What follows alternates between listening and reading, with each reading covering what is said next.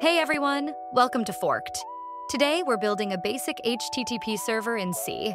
No frameworks, just sockets, raw power, and a little bit of fun. By the end, you'll know how a server takes a hi and turns it into HTML.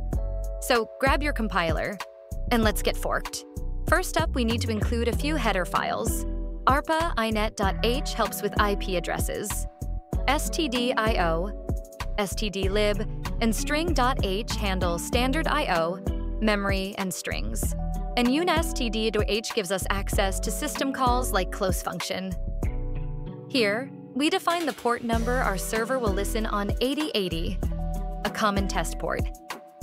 And buffer size is how much data we'll handle at once when sending files. Now we define a function to send an HTML file to the client. It takes the socket and file path as arguments. We open the HTML file.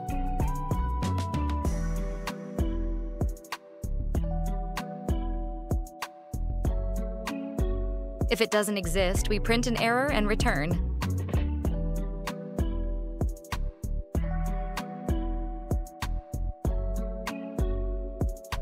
Next, we prepare the HTTP header. This tells the browser, hey, it's all good, and we're sending back HTML.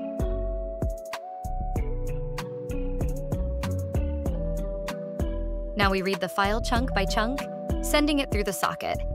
Once done, we close the file.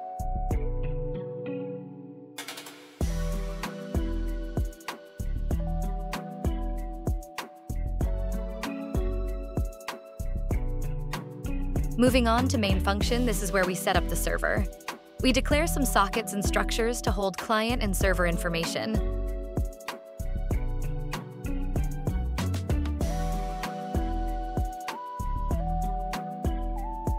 We create a TCP socket using AF inet and SockStream. If it fails, we show an error and exit.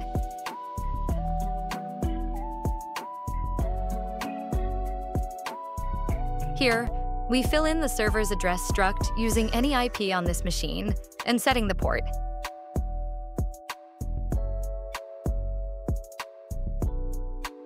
Binding connects our socket to that address and port. If it fails, we clean up and exit.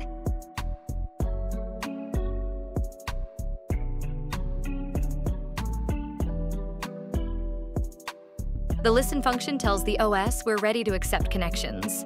The five means up to five clients can queue. If successful, we log that we're listening. We loop forever waiting for a client. Accept function blocks until someone connects. If it fails, we just skip and try again.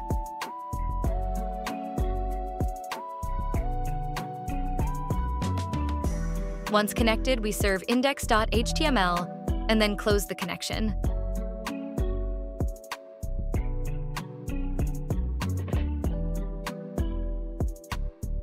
Finally, we shut down the server if we ever exit that loop, which normally we wouldn't. Let's not forget our makefile. It automates building our server. Make all compiles our C file with warnings and optimizations. Make run builds and runs, and make clean deletes the executable.